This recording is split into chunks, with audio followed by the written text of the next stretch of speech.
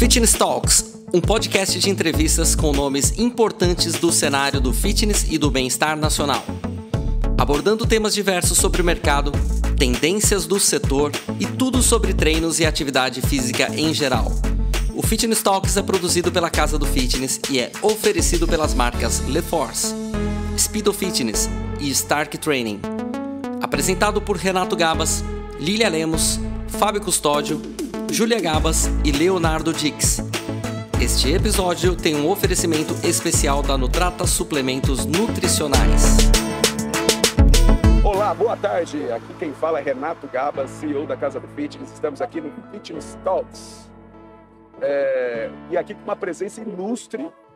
Estou muito orgulhoso de ter aqui do meu lado nada mais, nada menos que Dudu Neto, é... sócio, diretor técnico da Bodytech, é uma pessoa que entende muito do fitness, que eu sempre quando estou do lado tento aprender um pouco, eu sempre levo ele nas feiras internacionais do meu lado para ouvir o que ele está falando, o que, que ele tem para apontar, para eu aprender.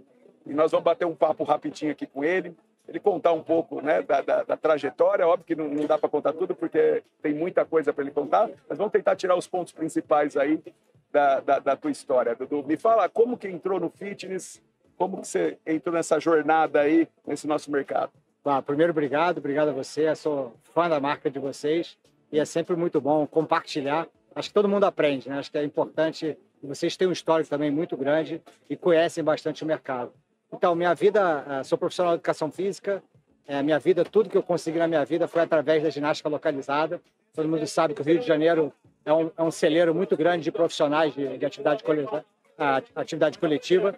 E eu cresci né, dando aula de ginástica localizada, tinha minha academia, e chegou um ponto com o início de, das grandes redes, né? É, cada vez ficou mais difícil você sobreviver quando você não tinha musculação, era uma academia pequena. E aí eu falei, cara, eu, eu vou, acho que a melhor coisa que tem é você conseguir. Eu estava num processo que eu estava meio cansado de dar aula, dava 12, 13 aulas por dia, vivia disso, não tinha férias, a minha vida era academia, tirava férias, o faturamento caía. Então, assim, cara, eu estava querendo começar a ter um, uma, uma, uma, carreira na área de gestão e sempre focando, a princípio, na, na, nas áreas coletivas. E aí teve a oportunidade, muito tempo, o Amaury Marcelo, é, que era diretor da época e sócio da Bodytech, me chamando, mas era muito mais para trazer os meus alunos, já que eu estava muito próximo deles e a academia deles precisava de aluno. E eu comecei a, a namorar a ideia, era muito difícil para mim sair de um negócio que você era dono, e ir para uma coisa é, muito grande, mas tinha oportunidade. Eu acho que eu fiz o caminho certo. Eu fui para a Bodytech, éramos três academias. Logo depois teve a entrada do Dacioli e do Urquiza, que ganhou uma profissionalização muito grande. E daí é, eu estava com a minha carreira já desenhada, que eu queria trabalhar na gestão. E com esse profissionalismo, esse entendimento, porque na Bodytech, na época, éramos três pessoas que eram da educação física. Todo mundo era de banco. Então, para a gente foi um desafio enorme. A gente ouvia números e e siglas que eu não tinha a mínima ideia. Eu ligava para o meu irmão, ia na internet para descobrir o que, que era EBITDA, o que, que é isso. E assim, foi um cenário bastante desafiador, mas assim, a, a gente conseguiu conquistar muita coisa e hoje em dia a gente, a gente conseguiu construir uma marca legal e acho que a, a própria o, o, cargo hoje em dia que eu tenho me deu a oportunidade de conhecer muita gente, conhecer muito o mercado, de viajar muito e acho que isso é uma oportunidade única para gente. Não, é fantástico. a Bodytech, é legal ouvir isso daí, porque é essa junção né, da, da, da, da turma, do conhecimento prático ali da coisa com o conhecimento financeiro administrativo, quando se junta, é, isso daí dá um, um, né, uma explosão, porque muitas vezes a pessoa, você sabe fazer aquele teu negócio do dia a dia, é, mas tem toda uma parte por trás administrativa e financeira que às vezes as pessoas não, não se atentam. Então a gente vê muita gente quebrar, sem dúvida, né, por falta desse profissionalismo e que eu acho que vocês foram um dos primeiros a realmente. Acho a... que sim. É, você tem, a gente tem hoje em dia no Brasil 29.500 academias. Hum. Eu diria que é. 95% são tocadas por profissionais de educação física. E eu sei que a gente não tem essa vivência, não, não. tem essa informação, e eu fico muito assustado quando eu vejo isso, entendeu? Porque como é que você vai montar um negócio se você não sabe o quanto você vai ganhar, o que, que você quer, aonde você quer chegar. Então, acho que a falta de. É, existe uma carência muito grande desse tipo de, de informação. É, eu acho que é e por isso essa profissionalização de mercado, a gente vê essas grandes redes crescendo, muito é pelo administrativo disso daí, né? Sem Se você pôr essa visão Faz uma diferença muito grande. É, os objetivos, as metas, aonde você pode fazer, aonde vale a pena investir. E essa informação, infelizmente, a gente não aprende na faculdade. Não, a gente não, não, não tem. Pegando uma dica aí, vamos pegar uma dica para essa turma que é, vai, uma academia de uma região, é, além dessa parte administrativa, uma parte técnica mesmo, o que, que, você, o que, que você vê mais de problema? O que, que você pode dar uma dica para essa turma para falar? Renato, eu vejo hoje em dia, a gente no Brasil está enfrentando né, uma, um, um, acontecimento que é uma expansão muito grande das redes low cost. Né? E a rede low cost, e, e sem querer né, não é falar bem ou falar mal, mas é um modelo de negócio muito inteligente, é um, é um modelo de negócio diferente, né? e particularmente para a Bodytech, eu te falo, ah, não afeta? Afeta sim, porque é mais uma opção que o cliente tem.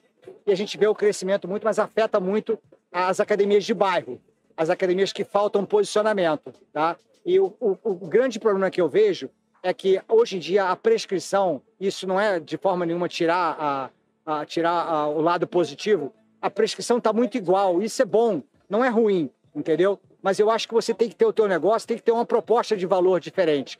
Porque se você for ter. A gente fala, a gente conversa com os operadores de academia de bairro e a tendência, ah, eu tenho um atendimento bom. No mais, ele é educado. É. Então, quando você compara na, sobre a ótica do cliente, eles têm um equipamento espetacular. Academia super moderna em termos de arquitetura. Cada vez mais próximo do que a gente oferece numa academia full service. Exato. Então, você tem que se diferenciar de alguma forma. E não pode ser preço, porque quando você abaixa o preço, a tua água já está aqui na, e todo mundo queixo, fala, eu tenho serviço, eu tenho serviço. É, mas você vai ver pouca gente oferece, porque as academias estão muito comoditizadas. É tudo, todo mundo oferece a mesma coisa. E eu acho que falta isso, e principalmente para o pequeno empresário, o cara que toca a academia dele, ele tem que entender que ele é o dono, ele tem que estar tá lá atendendo todo mundo, ele tem que estar tá na sala de musculação, ele tem que estar tá recepcionando o cliente, porque esse cliente vai ser tratado de forma diferenciada. E aí algumas pessoas vão perceber valor nisso. Se não oferecer, você vai cair e vai ser engolido por todo mundo, entendeu? E o cara fica no dia a dia resolvendo aquelas buchas, né? Ah, não pagou a conta de luz. Ah, tem uma, um problema aqui. O dia a dia draga ele e ele esquece do principal cliente dele, é perceber, saber onde são os pontos de contato, ouvir o cliente, o que está faltando, qual é a grade de aulas. Ele fica, no, sabe, no dia a dia e, e acho que isso é uma, é uma falha né, muito grave que você acaba perdendo o consumidor. E como treinar uma equipe dessa? Você que deve ter. Quantos, quantos instrutores em geral tem a Bodytech? É, atualmente a gente está com 3.700, 3.700 funcionários. Esse é o maior desafio, porque a gente vê, né, infelizmente, cada vez mais o, o nível profissional das pessoas que saem da universidade, o egresso, é deficiente. Eu dou um exemplo que 90% da carreira nossa do profissional de educação física vem do personal e você ainda não tem na, nas faculdades uma disciplina que, que, trate o assunto personal. E ele sai completamente né, e, e. Pelo, e, cru. Então, é, o treinamento técnico, né, a gente, principalmente de atendimento, de experiência do cliente, eu acho que é a chave da questão. Porque o técnico, a gente hoje em dia, a educação física do Brasil evoluiu muito e você não vai ver nenhuma série diferente o teu personal não pode ser melhor do que eu. Sim. Eu posso entregar uma experiência melhor para você Sim. através do atendimento, da forma como eu me relaciono com você. Mas o meu treino não é melhor que o teu. Não existe mais isso. E, e, isso é muito bom. Eu sempre falo a mesma coisa com relação aos equipamentos. Dificilmente você vai ver um equipamento diferente, né? Porque a indústria evoluiu tanto. A gente que participa de feira, dificilmente você vai ver um equipamento diferente. Não tem como. O que não é coisa ruim. É que cada vez mais a gente está melhorando a, a nossa a nossa, a nossa fabricação, a nossa customização, e acho que é muito mais uma questão de percepção do cliente. É, é, é aquilo, né? Voltando àquela famosa missão, visão e valor que ninguém liga, mas aí é, você vê que o, o grande diferencial está aí, né? Porque é, o serviço, o equipamento é igual, mas a, a, cultura da tua empresa você consegue criar, de realmente cuidar do teu cliente, de realmente ter essa atenção. Isso é uma cultura que tem que ser criada, né? É, isso daí realmente faz a diferença. Porque senão você vai numa academia, se, se não tivesse esses valores incutidos, Perfeito. né? E cultura é, é questão de tempo, né? É massacrar, é massacrar, é massacrar. Então, assim, eu sempre falo para os líderes, as pessoas que trabalham comigo, hoje em dia é, você tem que gastar muito tempo na seleção, entendeu? É, é, a seleção é um desafio grande, porque aí você consegue botar as pessoas no lugar certo e não simplesmente botar qualquer pessoa que não está alinhada com teus propósitos, com a tua cultura, com o teu DNA. Acho que esse hoje em dia é o desafio maior que a gente tem. E eu sempre falo assim, a, a gente fala, ah, se você me perguntasse há cinco anos atrás, Ah, qual o mercado que você está? Estou no mercado de fitness, de equipamento. Eu estou no mercado de pessoas.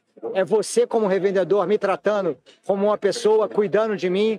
Sabe, se o meu equipamento está quebrado, o problema não é meu, da Bodytech. O problema é teu, você que me vendeu. Perfeito. Entendeu? Então, acho que é, são pessoas cuidando de pessoas. Perfeito. E isso de, demora tempo, né? Requer muito tempo para você fazer isso. Entender e cultivar. E, e, né? e uma coisa que eu falo também, eu, a gente tem alguns licenciados, e, e eu falo para tu, mas não, não dá para fazer tudo. Você tem que ter foco. Né? Qual que é o teu valor? Qual que é a tua visão disso daí? É... E aí eu vejo uma coisa, o dono, muitas vezes, eu falo, dono não é função, é, no nosso caso, eu falo, mais a, a, função do dono é coordenador comercial, é o cara ficar no comercial. Então, a parte administrativa financeira tem que ter alguém fazendo. Porque se o cara for fazer o administrativo financeiro, logístico, almoxarifado... Alguma coisa ele vai falhar, né? Então, foca naquilo que é o diferencial real, perceptível para o cliente, que é o caso, né? Está falando, que eu acho que é fantástico. Pega o dono e faz a função de um coordenador técnico ali da sua academia, de analisar, de cuidar do seu cliente, de atender, e contrata alguém bom, porque também se você não olhar para a parte administrativa financeira, você vai sofrer. Vai quebrar, com certeza. Então, você ter essa visão e conseguir investir nisso, e com certeza retorno, porque eu vi isso acontecendo, né? com a gente e com todos os negócios, que é o que nós estamos falando. A maioria dos negócios, o cara tenta fazer o administrativo financeiro e ele não é bom, e ali fica o negócio meia boca e deixa de fazer o que ele era bom, que era dar o treino, ser o coordenador técnico da coisa, né? É, eu acho que a montagem de equipe é fundamental. E aí, quando você perguntou da, da questão técnica, é que você não vai conseguir, ou então hoje em dia eu, eu tenho uma equipe comigo que um é especialista em força, outro é especialista em mobilidade, porque você não consegue, o profissional de educação física não consegue atingir isso tudo. E acho que você tem uma equipe dessa, com cada um somando, né, e, e ajudando você, trabalhando como equipe para formar as pessoas, é, é, um, é um diferencial competitivo muito grande. Perfeito. Só dicas aí de um, de um cara que tem uma experiência tremenda, que cuida de 3.500 profissionais. É, eu acho que é dicas valiosíssimas. Uh, Dudu, para a gente é, é, encaminhar a, a, o fechamento, como que você vê é, o futuro das academias, do fitness em geral, para casa? Como você vê essa integração, equipamentos, fitness, cultura? Como você enxerga o futuro do nosso mercado? É, eu acho que a palavra digital está cada vez mais claro para gente. Então, acho que os ambientes, o, o fitness, eu não acredito num produto 100% digital. Eu vejo pouquíssimas pessoas bem nesse assunto, vis-a-vis é o que a gente sabe de Peloton, o Exer, outras plataformas, mas eu, eu, o nosso cliente, o consumidor, o nosso mercado é de pessoas, pessoas cuidando de pessoas. Então, o dia que o teu cliente preferir fazer uma aula online do que fazer uma presencial, você está com um problema na entrega do teu produto. Assim, não tem como, porque a relação, né? Eu preferi comprar um, um equipamento pelo, pelo canal, é muito fácil, pelo, pelo digital, vale a pena, mas a relação que eu estabeleço com você conversando, trocando ideia e negociando com você, é diferente. Eu faço a mesma coisa em relação à academia. As academias hoje em dia têm que oferecer o serviço digital. Então, acho que é híbrido. A gente, o mercado é de pessoas, é complementar. O cliente aprendeu que dá para ele treinar em casa. No passado, a gente via né, vocês com expansão de condomínio. Quantos vocês não venderam de equipamento de casa? Pô, o Renato está vendendo casa, é, aula de, é, sala de bike para o cliente, o cliente não vai voltar para a academia. Não. Não. Assim, pelo contrário, Pelo contrário, é uma porta de entrada. O que era para gente um obstáculo e eu achava, vou perder o cliente para o digital. Não. Não, o cara vai lá e ele aprendeu que dá para treinar. Então, às vezes, em vez dele ele vai viajar, ele não, tipo, não conseguia treinar.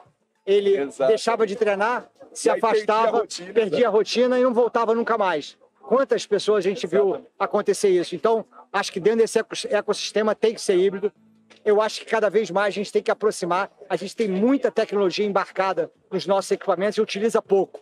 Esse é o desafio. O profissional de educação física ele tem receio de ser trocado pela máquina. Eu não tenho nenhum problema. Eu tenho utilizado muito inteligência artificial para tentar tornar minha vida mais produtiva, mas para mim está claro que a, a, a tecnologia é para fa facilitar a minha, a minha experiência do meu cliente. Não é para tirar o humano. Não, não tem como você ser atendido melhor por, uma, por um algoritmo do que por um, do que um profissional. Você precisa rever. Se isso aconteceu, você tem precisa algum problema, na, problema no teu propósito, no teu negócio, entendeu? Exato. Mas eu acho que o, a gamificação, as, as redes sociais, isso tudo pode ser uma ferramenta para alavancar. Agora, eu acho que o grande desafio que a gente tem, Renato, que é uma crítica que eu me faço, que eu faço para todo mundo hoje em dia, alguma coisa errada a gente está fazendo. Porque 98%, talvez 100% da população brasileira sabe que fazer atividade física é importante, mas metade da população é sedentária.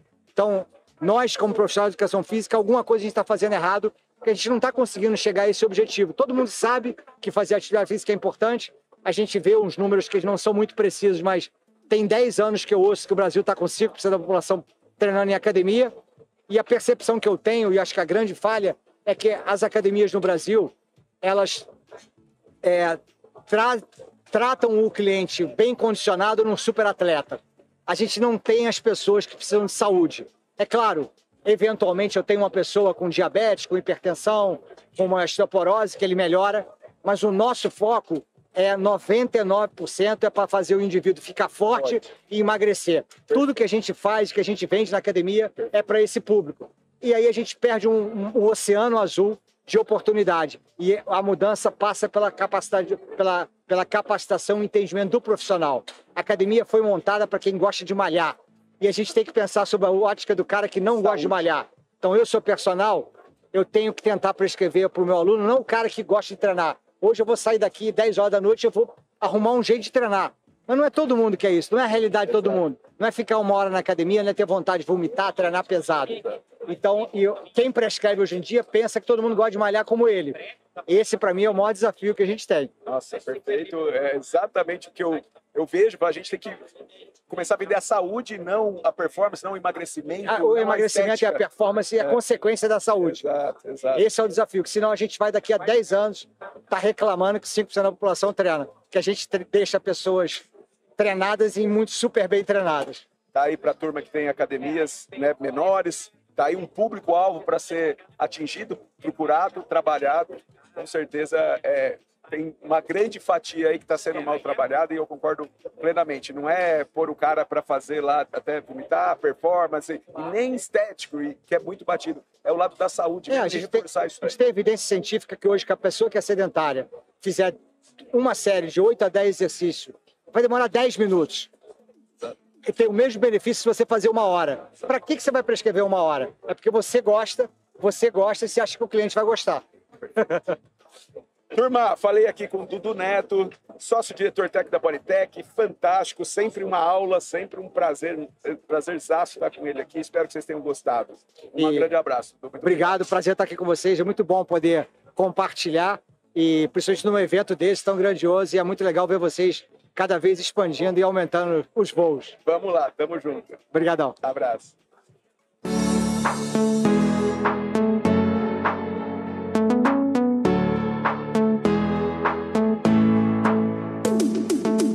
Você ouviu mais um episódio do Fitness Talks, um oferecimento das marcas LeForce, Speedo Fitness e Start Training. Para mais episódios, siga-nos no YouTube e no seu agregador de podcast preferido Instagram, arroba Casa do Fitness.